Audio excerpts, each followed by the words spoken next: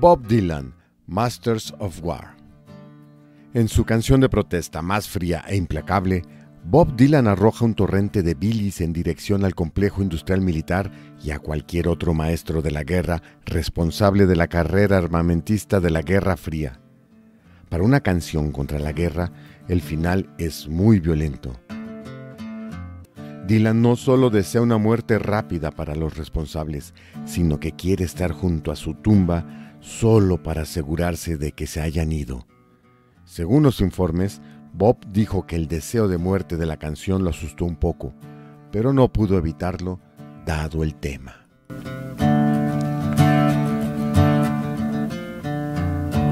Y esta es la letra original de Masters of War, Maestros de la Guerra.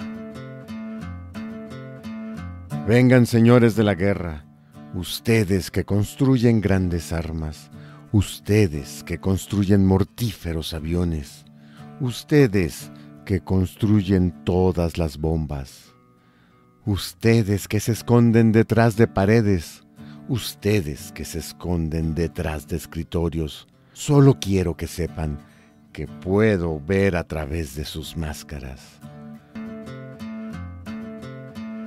Ustedes que nunca hicieron nada excepto construir para destruir.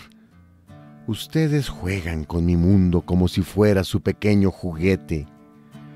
Ponen un arma en mis manos y se esconden de mis ojos y se dan vuelta y corren alejándose cuando las rápidas balas vuelan. Como Judas de antaño, mienten y engañan una guerra mundial puede ganarse, me quieren hacer creer. Pero veo a través de sus ojos y veo a través de su cerebro, como veo a través del agua que corre por mi desagüe. Ustedes ajustan los gatillos para que otros disparen y luego retroceden y observan mientras el número de muertos asciende se esconden en sus mansiones mientras la sangre de los jóvenes escapa de sus cuerpos y se entierra en el barro.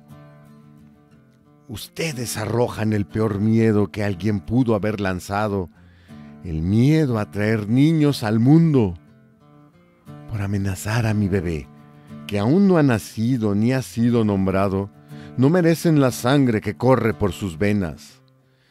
¿Qué tanto sé como para hablar así a destiempo? Ustedes podrían decir que soy joven, podrían decir que soy ignorante, pero hay una cosa que sé. A pesar de ser más joven que ustedes, que incluso Jesús nunca perdonaría lo que ustedes hacen. Déjenme preguntarles una cosa. ¿Su dinero es tan bueno? ¿Les comprará perdón? ¿Piensan que tendría ese poder?